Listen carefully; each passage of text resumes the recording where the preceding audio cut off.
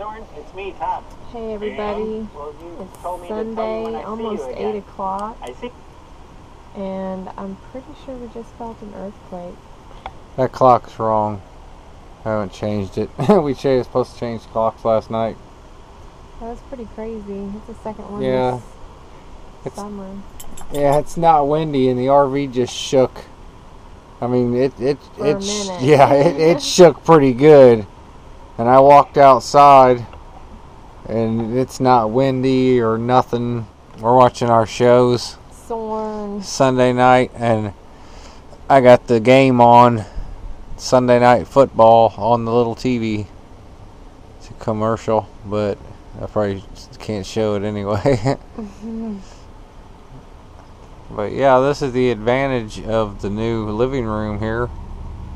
It's awesome having two TVs. Yeah, can kick back, watch a, a show, and have a, a game on the little TV.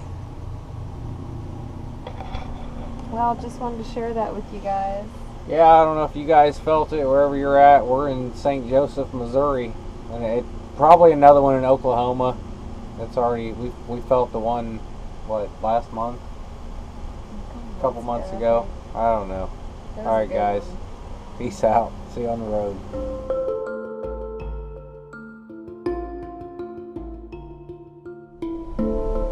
Up, guys? So it's Monday morning, and yes, that was an earthquake last night that we felt. It was another one in Oklahoma. We felt it pretty good. Last time I was in a dead sleep, and it woke me up. And by the time I realized what was happening, it stopped.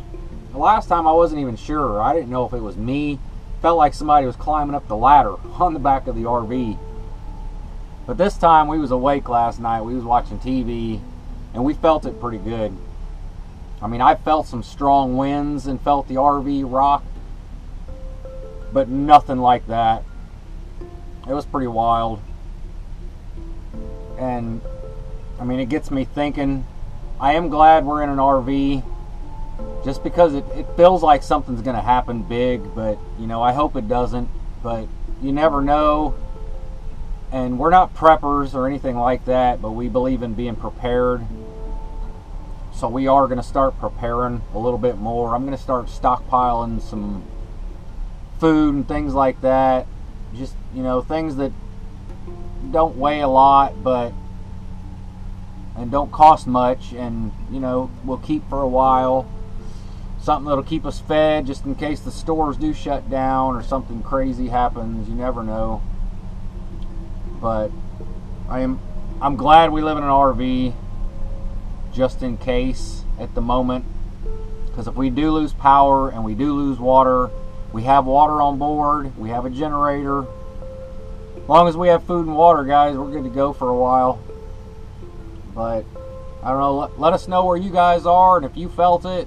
It was in Oklahoma, like central Oklahoma, they said. Kind of north, maybe. But we're in St. Joseph, Missouri. A good, I don't know, three, four, five hundred miles away, something like that. And we felt it pretty good, so I can imagine how they felt it in Oklahoma. I know there's a couple RV channels that are in Oklahoma so I'm, I'm sure they felt it pretty good. But what are you guys doing to prepare? Are, are you ready? I don't think we're 100% ready if something big happened right now. But I think we would be okay. But it's wild, guys. Let us know in the comments what you guys think, if you felt it, and what you're doing to prepare, or are you prepared? if something major happens. And I'm out of here, guys. I'm going to shave and cut my hair and shower and get some work done around here. All right, guys, be safe out there, and we'll see you on the road.